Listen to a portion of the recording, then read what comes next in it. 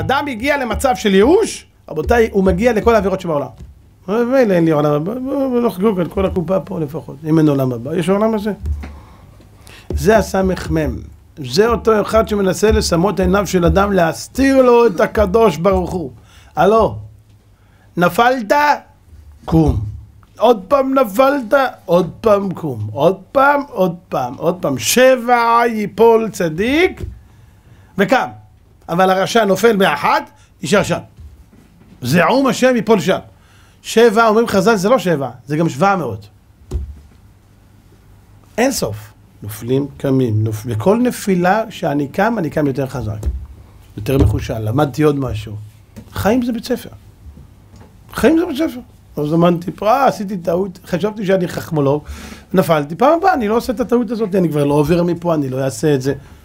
במלחמה, כמו במלחמה, במלחמה אין פצועים? יש פצועים. אתה נמצא במלחמה עם היצר רק תצא למלחמה על אויביך. במלחמה כמו במלחמה, יש פצועים. אז לפעמים אתה נפצע, לפעמים אתה פוצע, בסדר. אבל להתייאש, חייל שבאמצע הקרב אומר, מה עשיתי, אני זורק את הרובה, די. טוב, אתה זורק את הרובה, אח שלי, בסדר. אתה יכול לצלצל לאימא, להיפרד ממנה יפה. מה זה, תילחם על טיפת דמך האחרונה. חייל?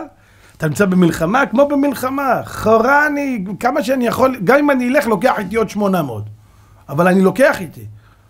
אני לא... אני, כל אחד שהורדתי, הצלתי עוד מאה אחרים שהוא לא יהרוג אותם הרשע הזה, ועוד אחד, ועוד אחד, ועוד אחד. זה מלחמה כמו במלחמה. תצא מלחמה על אויביך, אומרים לך זה רק כתבה על אויביך, בטח שיוצאים מלחמה על אויבים, יוצאים על אוהבים?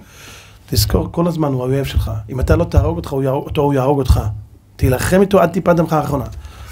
זה יסוד.